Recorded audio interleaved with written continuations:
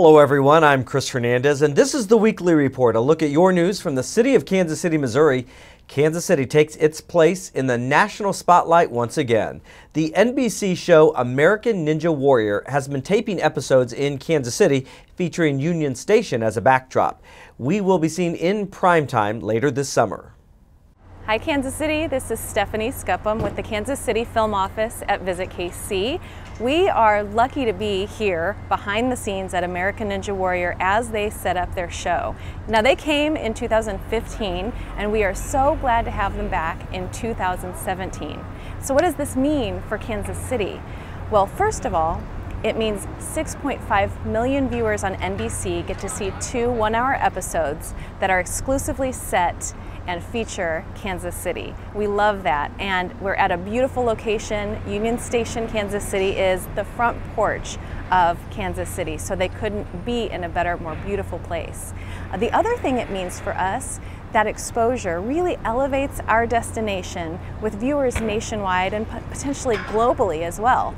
Um, what they do, um, they bring such a great impact. Their crew is amazing. They're really nice people. They work really hard. They come in droves. I mean, there are so many trucks out here full of workers and equipment, and they come into our city and not only stay in our hotels in over 700 room nights, uh, they go out and enjoy what Kansas City has to offer. They go to baseball games, they go out to dinner and lunch and do activities, and they really, really enjoy our city while they're here.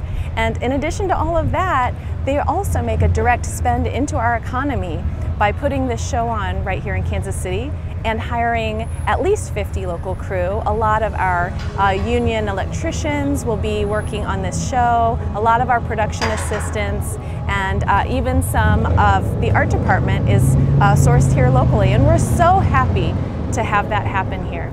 Um, yeah, being in a lot of different cities throughout the United States. Um, you know, each one is, is fun in their own right, but um, coming back home to work, it's obviously, um, I'm a little biased, but it's, um, it's great. And it's fun to kind of show off my hometown to a lot of the crew and all that stuff and give them the lowdown on the great spots to check out, the food, the nightlife, all that good stuff. Anyway, there's so many reasons why it's good for us, and we're, we're just so grateful that they're here and that they selected us again. And we really hope they select us over and over and over. Does your company have a visionary idea on how to improve city processes? The annual Innovation Partnership Program is now taking applications. Entrepreneurs will compete to develop, test, and demonstrate solutions for city operations. The 12 week program grants access to city data and infrastructure while providing a test bed for your product or service. After the test period, the city may decide to purchase your company's products or services if it's a good fit and improves overall efficiency. For more information, go to the city's website, kcmo.gov, and enter Innovation Partnership in the search bar. 3rd District City Council member Jermaine Reed testified before Congress this week about the burden of unfunded mandates from the federal government. Reed was part of a delegation from the National League of Cities.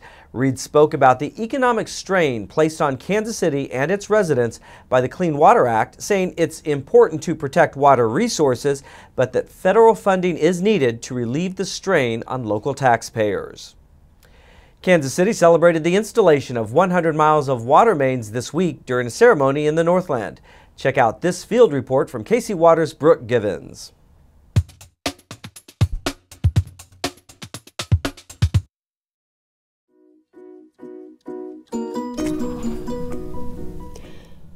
In 2012, there were more than 1,800 water main breaks in Kansas City.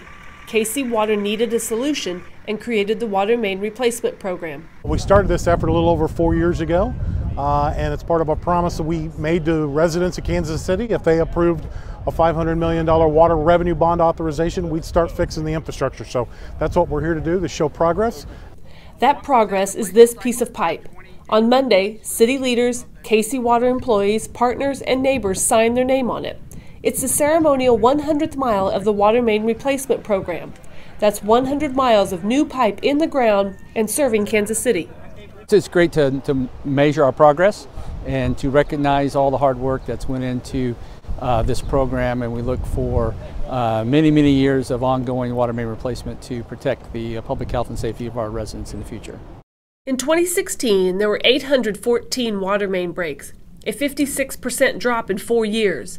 But the work is far from finished. There are 2,800 miles of water lines in Kansas City. Our target is to replace 1% or 28 miles each year. In 100 years, we start over. To date, KC Water has invested $65 million making sure Kansas Citians continue to receive safe, clean, and reliable drinking water. This is just a nice way to say today we are actually doing the first 100 miles of an extraordinary opportunity to serve everybody in Kansas City. For KC Water, I'm Brooke Givens.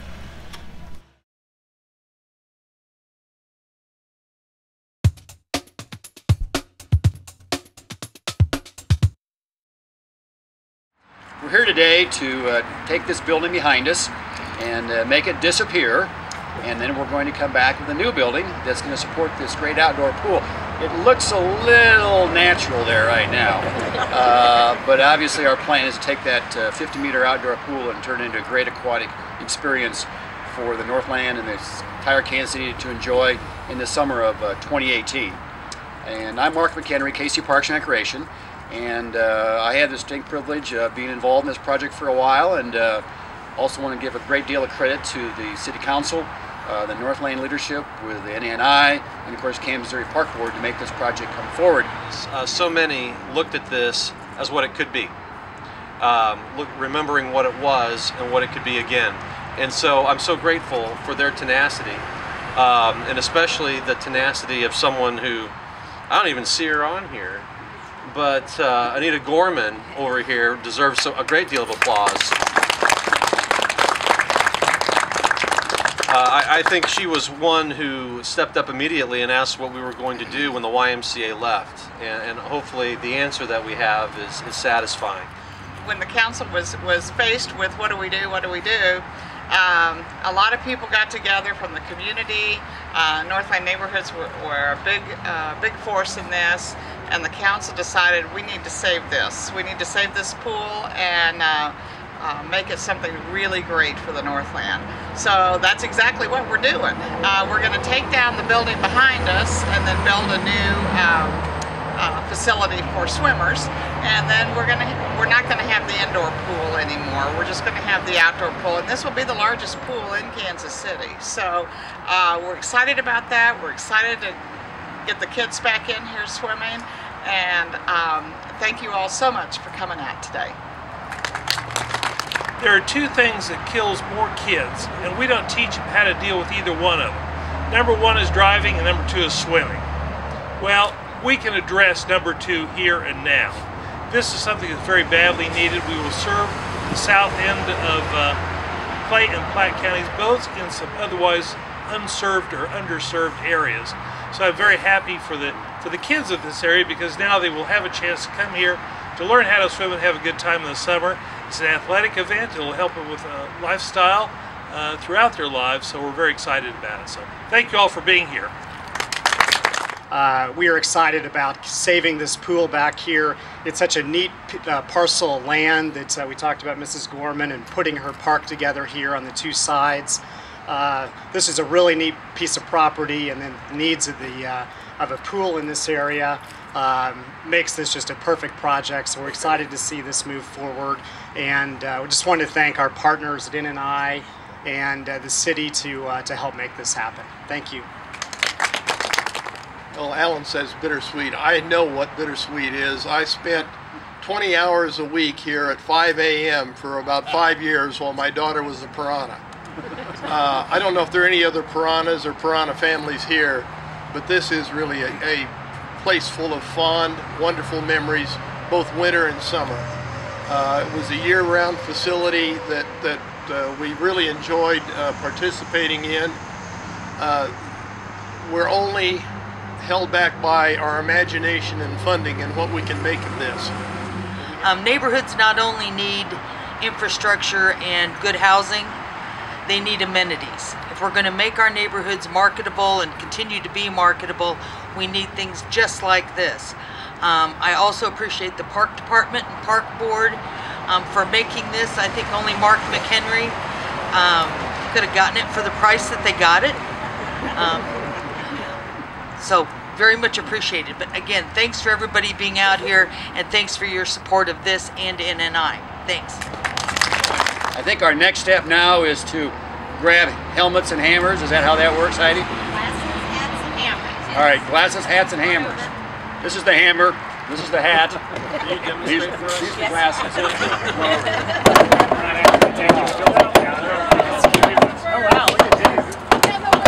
Wow, look at that! Yeah! He had a soft spot. Now, thanks. You guys.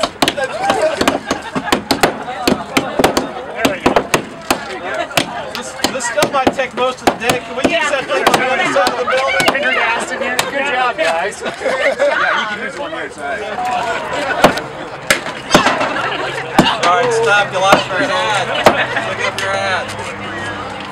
All right, good job. All right, one more whack. All right. All right. That's, that's good enough All right.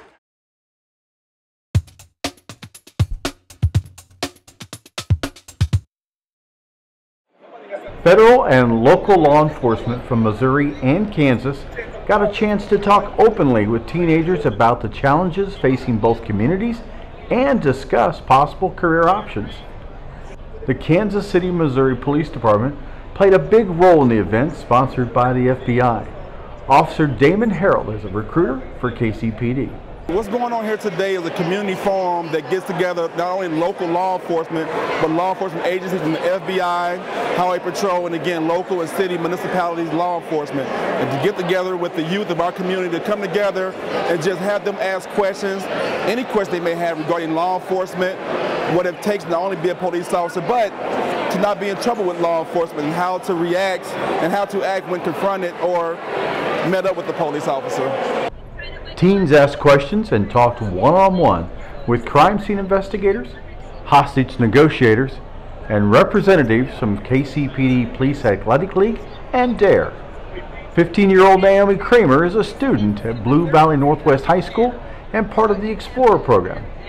She's interested in the intellectual side of crime fighting. The intelligence and negotiations uh, really uh, interest me a lot because I like the more data stuff and you know learning about the intellectual part of being a police officer. Claire Witt is a junior at St. Therese Academy and thinks the event is important for all students. I think it's good to just make connections because you never know who you're going to meet and then that'll help you one day in the future. Definitely connections and just to kind of open your mind a little bit. Like that's why I'm visiting everybody's booth because you never know what, you know, you might fall in love with something that you didn't think. The goal of the event was to create dialogue between law enforcement and leaders of tomorrow. All youth 13 and older in high school and college were invited. Officer Harold says jobs are important, but there are other benefits to talking to young people. The biggest benefit is trying to uh, get rid of any preconceived notions they may have about police or contact with the police and how to behave when interacting with the police. And so, you know, not only about jobs, but teaching them how to act and how to talk and the right way to do things. Other agencies represented included the United States District Attorneys of Western Missouri and Kansas, the Kansas City, Kansas Police Department, and the FBI Citizens Academy Association. I'm Officer Mike Moats, and have a safe week.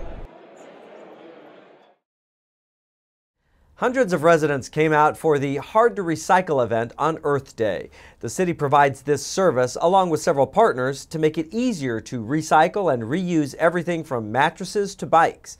It took place across the street from the Manual Technical Career Center on Truman Road.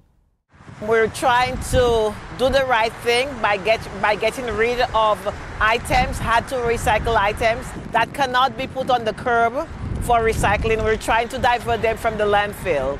So we've teamed up with several vendors, Surplus Exchange, Disabled Veteran, Avenue of Life for mattresses, Truman Habitat Restore for building materials.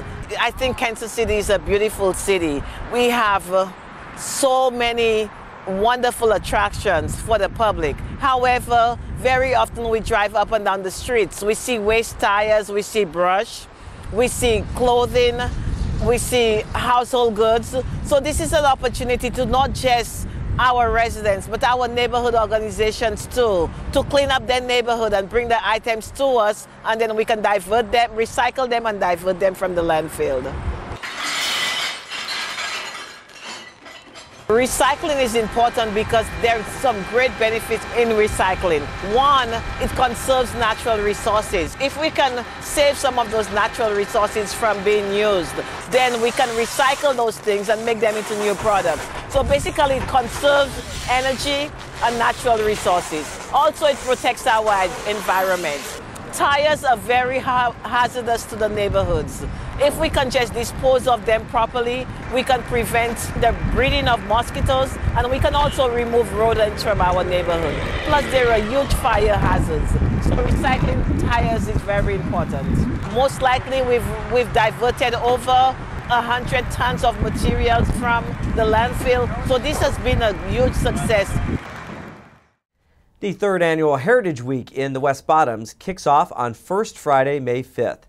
This week-long celebration includes street performances as well as historical presentations on Kansas City jazz, presentations about arts in the West Bottoms, and the future development of this thriving area. Heritage Week wraps up on May 12th with the Wettest Block Soiree, which features music, dinner, and dancing. Come down for Heritage Week, and while you're at it, experience the antique shops, artist studios, historic buildings, and unique ambiance in the West Bottoms. Some events are open to the public and other events are ticketed, so visit the historic West Bottoms website at hwb-kc.com for more information. Heritage Week is supported by the city's Neighborhood Tourist Development Fund. Another project supported by NTDF funds is the collaboration between KC Art in the Park and Art in the Loop. For the second year, these two events have teamed up to create a unique summer experience. This year, musicians take more of a starring role. Now known as Art in the Loop Project Q, this series of events kicks off in May with art installations, performances, and music. It runs through September. Visit artintheloop.com for a complete list of artists and musical performers. City employees braved the brisk, not quite spring weather to take a walk around City Hall for National Walk at Work Day. The city's Fountain of Health program encourages employees to participate in healthy activities throughout the year. So we are out here for National Walk Day doing our part to uh, help get people into more healthy lifestyles. So we had several people come out from City Hall today doing their walk around Ilus Davis Park. It was a great opportunity not only to stretch the legs, but uh, to feel a little bit of that remaining chill uh, before we get into the main part of spring and summer. But uh, this was a great opportunity for us to have a little fellowship, enjoy our time together, and, and exercise a little bit. Break out your party hats and save the date for the KC Streetcar's first birthday party. Saturday, May 6 marks a full year of operation. You are invited to join the celebration at Union Station at 11 a.m. KC Streetcar has delivered nearly 2 million rides and sparked nearly $2 billion in economic development projects. Those are milestones worth celebrating. That does it for this edition of the Weekly Report. You can watch this report and all of our city videos on demand by going to our YouTube channel. Be sure to follow the city and several of our departments and programs on Twitter, Facebook, and Instagram as well. I'm Chris Hernandez. Enjoy this gorgeous Kansas City spring weather.